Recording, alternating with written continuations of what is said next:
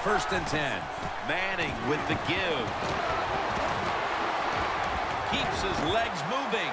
No one's going to get him now. The 10, and that's a touchdown. First one of the game in the Super Bowl.